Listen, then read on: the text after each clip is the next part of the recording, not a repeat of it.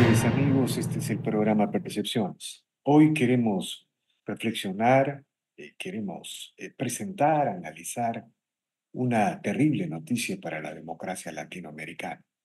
El presidente Sebastián Piñera acaba de, ha fallecido el día.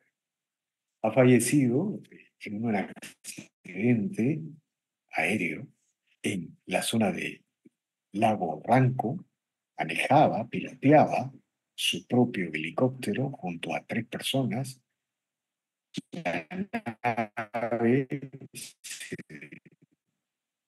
se, desplomó al lago, al lago Ranco, llamado Lago Ranco, donde el presidente Piñera tiene una casa familiar.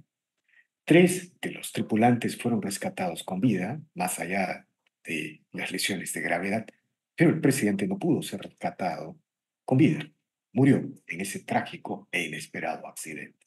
De alguna manera, la democracia chilena y la democracia latinoamericana son estremecidas por esta terrible noticia.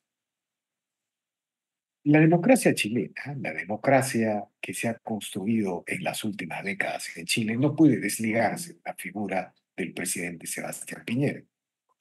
Él lideró a los partidos de la centro derecha para llegar al poder entre el año 2010 al 2014, luego del 2018 al 2022, en dos ocasiones llegó a la presidencia, después de varias décadas, después de muchas décadas en que la izquierda, perdón, en que la derecha no llegaba al poder, el presidente Piñera, con sus particulares habilidades políticas, logró unificar desde la derecha hasta el centro para lograr el poder de este sector político en el hermano país del sur.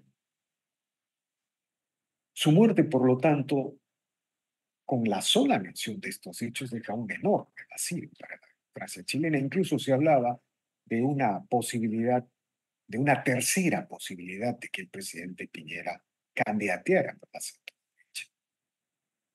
De otro lado, hay que señalar que la figura de Piñera no solamente está vinculada a este proceso institucional que desarrollaron las izquierdas y derechas chilenas luego del régimen de Augusto Pinochet eh, durante alrededor de más de tres décadas, en la que las izquierdas y las derechas se sucedieron en el gobierno, no solamente está asociada a este proceso, a este enorme proceso institucional que convocó la admiración de toda la región latinoamericana e incluso de, Iberoamérica. Antes se solía hablar de las transiciones en Chile y España como paradigmas de construcción de comunidades políticas en la que los sectores enfrentados, los sectores polarizados se encontraban en un espacio de convergencia y unidad.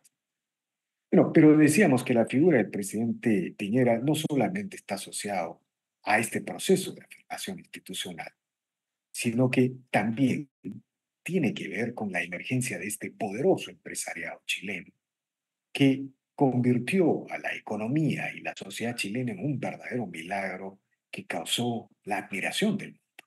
El presidente Piñera era dueño de una de las fortunas más importantes de Chile, dueño de LAN, algo que nos toca muy directamente aquí en el Perú, por ejemplo, ¿no?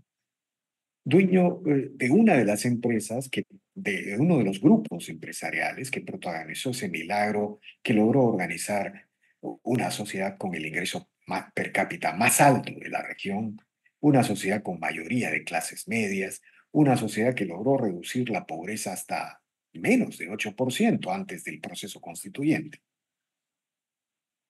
Es decir, hay mucha luz en el legado del presidente Piñera, pero también hay interrogantes, hay preguntas, hay sombras. Y de alguna manera, el presidente Piñera también representó esa centro derecha que no logró entender el proceso de involución que existía en la izquierda chilena, que se expresó en el surgimiento del Frente Amplio, que se expresó en la revitalización del tradicional Partido Comunista. Eh, Piñera representaba a esa derecha focalizada en el crecimiento económico, en la tecnocracia, pero alejada de los grandes temas ideológicos y culturales sobre los cuales la izquierda chilena lanzó una feroz ofensiva en el país del sur. y eh, no entendió, como la centro derecha en general no entendió, que la izquierda estaba involucionando.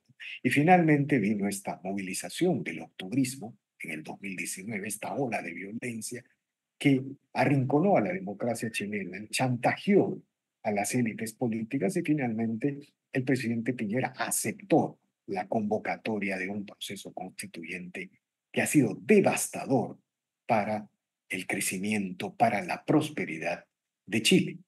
Ya todos sabemos los dos, los dos, las dos votaciones nacionales en que el pueblo chileno eh, rechazó una constitución de izquierda de contenido soviético, un mamotreto enorme, impensable, y también otro proyecto que lo redactó un sector de la derecha, más pero que también fue rechazado en su constitución histórica.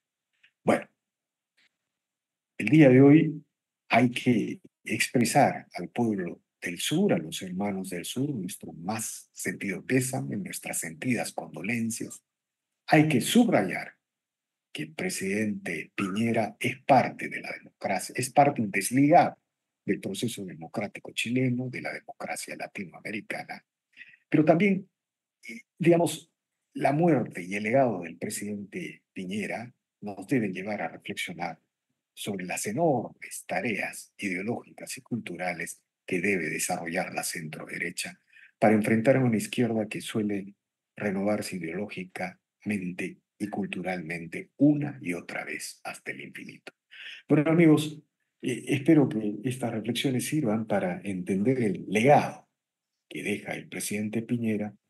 No se olviden de suscribirse a este canal, de dejar su comentario, porque es la manera en que nosotros tenemos de continuar con este trabajo. Gracias.